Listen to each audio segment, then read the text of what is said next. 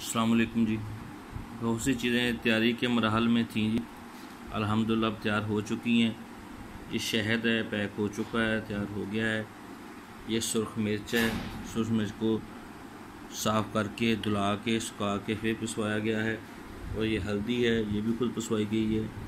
ये ख़ास सरसों के तेल में डाला गया। आम का अचार है। ये आमले का मुरबा है जी।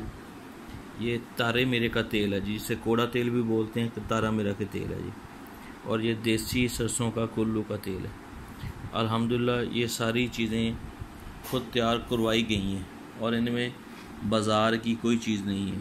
और ये सारी चीज़ें अल्हम्दुलिल्लाह ओरिजिनल देसी हैं, ठीक है? जिन भाइयों के ऑर्डर हैं इन आज से डिलीवरी शुरू हो जाएगी, और जिनको मज़ीद चाहिए, वो प्लीज़ मैसेज कर दें या बता दें।